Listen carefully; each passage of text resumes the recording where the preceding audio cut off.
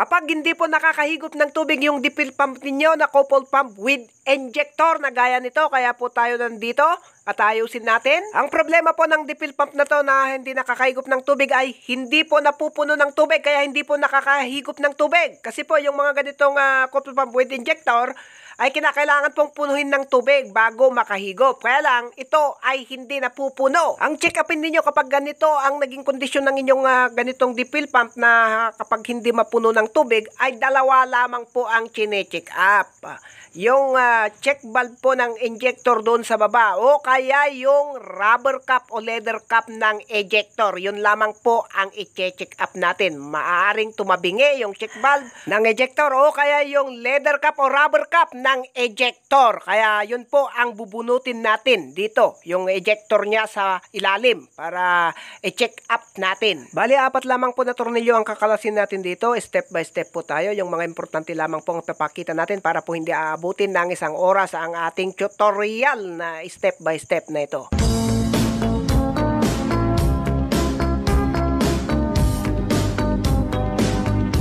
Bali nakalas na yung dalawang tornilyo doon sa motor at ito na naman po, ayan. Bali apat na tornilyo lang. Bali yan na po mga kabirtod, binubunot na po natin itong uh, PVC pipe na pinagkabitan ng ejector doon sa baba. Ayan, number one po ang size nito, yung pinagkabitan natin ng, uh, pinagkabitan nila pala. Kasi magre-repair lang po tayo. Pinagkabitan nila ng ejector. Bali yan, nabunot na po natin, pabilisan na po tayo. Ito na po yung ejector. At ang nakita nating problema dito ay ito pong uh, rubber cap niya ay medyo may tama na. At sunod naman nating check upin itong uh, check valve niya. Ito, lagyan natin ng tubig. Kapag napuno, walang problema sa check valve niya. Oops, yan. Walang problema po sa check valve. Bali, palitan lang po natin yung uh, rubber cap niya o leather cap niya ito. At ito naman ay uh, lagyan natin ng uh, tiplon at uh, tuloy lininisan na, na, na rin natin. Ako, habang hinihintay po natin yung binili nilang uh, rubber cap. Kinakailangan lang kapag ilagay po natin na ito o kaya ibalik ay lalagyan po natin ng tiplon. Sa mga naman po ignorante dyan na magtataka na pabaliktad po ang paglagay natin ng uh, tiplon ay front camera po ang uh, pinang video natin dito. At ito na ibabalik na po natin dito. Tignan ninyo. Oh, tignan ninyo yung ikot. Ano, di ba?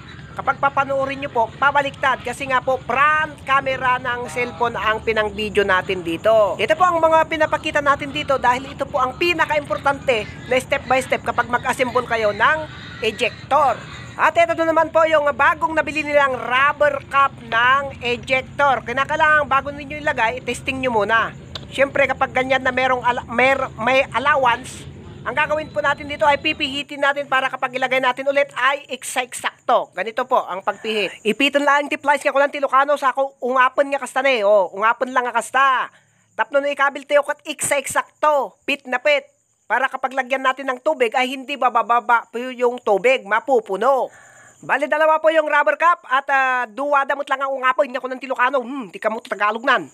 At ito na yung put valve o check valve ng uh, ejector, ano? Kinalas natin, oh. Yan, ito, ito, ito po, yung isang hinahawakan ko ay ejector. Ito po yung valve. Bali, lilinawin ko lamang po sa mga nanggugulo at saka nagtuturo ng mali sa comment section na magkaiba po ang uh, valve at ejector. Magkaiba po ang trabaho ng valve at saka ejector. Kahit po i-search nyo po sa Google, huwag po kayong magturo ng mali. Ay nako po. At parte rin nito ay kinakailangan din lagyan po ng uh, tiplon. O sa mga naman po, nagmamagaling na naman dyan na magsasabing hindi kayo maniniwala pati paglagay ng tiplon na hindi alam.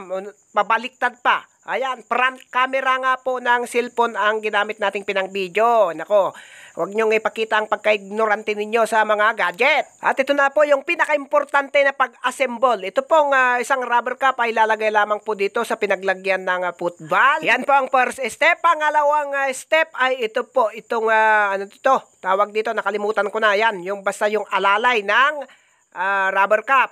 Pangatlo po, ito na, ito po yung isang rubber cap, lagay lamang po dito sa ejector. Oh, yan. Oh. Saka lang i-thread. Oh.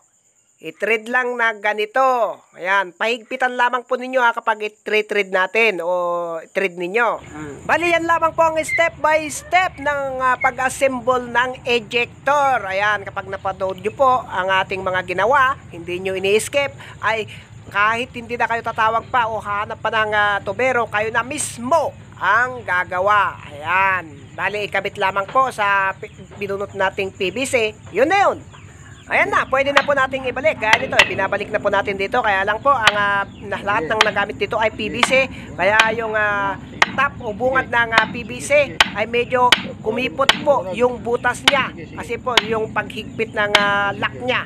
Kaya pilit lang po natin na ipasok itong ejector kasi nga po kinakailangang pit na pit. Ang purpose po kasi kaya natin binabalik na pit na pit para po kapag lagyan po natin ng tubig bago ang tarin ay syempre mapupuno po ng tubig bago ang tarin. Yun po ang naging sira nito, pumalya po yung rubber cap na pinalitan natin. Bali na ilampas na natin na ipasok yung rubber cap doon sa bungad ng ah, PVC din kasi kumipot po yung bungad ng ah, butas. Saka lang po pahigpitan ng mabuti para sure hit at saka lang ibaba na. Ayan na. Ayan na oh. Diniretso lang po kasi namin kanina na binunot, hindi na namin pinutol itong ah, PVC na number 1 ang size na pinagkabitan ng eject Tor. Bali wala nang dugtong-dugtong o gamitan pa ng kupling kapag ganito. Kailangan lamang pong mahigpit ito kapag ibalik para sure hit. Ayan. Higpitan ng dalawang yabi tubo. Saka lang ibaba. Oh, yan na. Oh, kahaba no?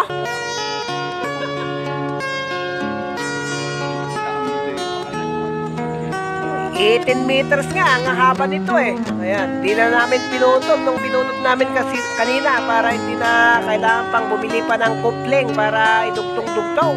Ganito na lang, rekta. Yung size pala ng pinagpapasukan natin dito ay number 2 na size ng PVC pipe. Number 2 lang po kasi ang talagang size ng paglalagyan ng ejector. Bali, yun lamang po. Wala na pong ibang sekreto. Lahat na po ay tinuro ko. Ito na po ay kung ano po ang ah, style ng ah, pagkalas natin ay ganun din po ang pagbalik natin. At saka yun na. Saka tistingin na. Ang problema lamang po ay ah, hindi natin matitisting sa ngayon dahil po tsumamba po na brown out pa. Ay naku, malayo pa po ang ah, lugar na uuwian ko.